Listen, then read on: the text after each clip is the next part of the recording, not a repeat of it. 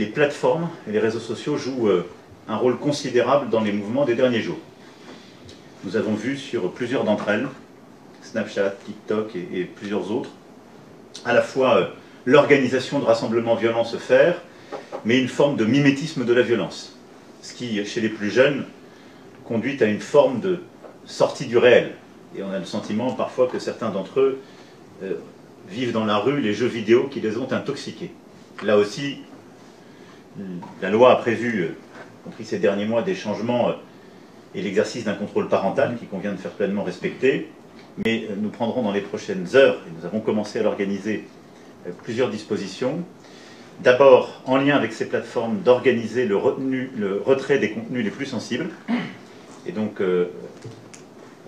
les services de l'État s'organiseront en lien avec ces plateformes pour pouvoir euh, obtenir une réponse effective. Et j'attends de ces plateformes l'esprit de responsabilité.